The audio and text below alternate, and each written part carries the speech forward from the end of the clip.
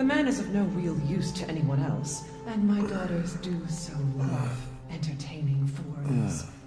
Furthermore, I can show you if you entrust the mortal to House Dimitrescu. My daughters and I shall deliver to you the finest. Way ugly! I want to see! He's awake! Brother, shut the fuck up! What? Where? You mean you'll screw around with him in private, and where's the fun in that?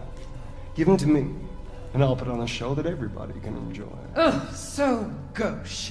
What do we care for bread and circuses? The man thinks suffering is assured. Gag, gag, if a man's dick is cut off in the castle, blah, blah, blah. I've heard all your arguments.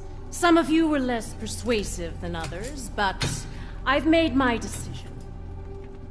Heisenberg, the man's fate is in your hands. Mother Miranda, I must protest. Heisenberg is but a child, and his devotion to you is questionable. Give the mortal to me, and I will ensure he is ready. Shut your damn mouth! And don't be a sore loser!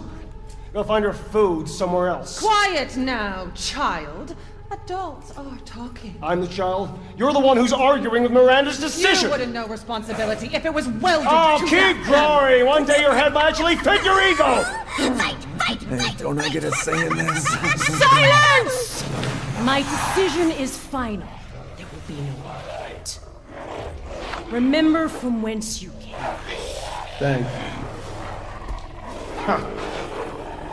Lycans and gentlemen, we thank you for winning. And now let the games begin! Let's see what you're Ethan Winters. Get ready. No! Ten, nine, eight, seven, six, five, four, three, two!